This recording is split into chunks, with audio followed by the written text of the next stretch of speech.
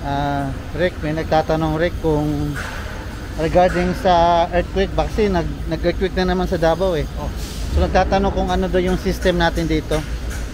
Ah, yung sa atin is ah, combination to ng shear wall saka SMRF special moment resisting ah, frame.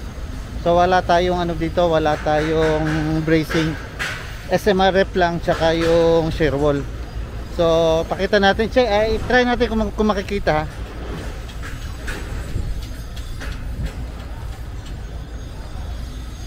Okay, so ay hindi makikita. Sige lang, explain natin. So, shear wall ang gamit namin dito, shear wall tsaka SMRF yung tinatawag na special moment uh, resisting frame. Wala tayong diagonal bracing dito. Kasi mostly yung mga diagonal bracing sa mga steel frame yun eh. Mga steel structure ba? Mga industrial, ganon. So, column, column beam, column beam, yun.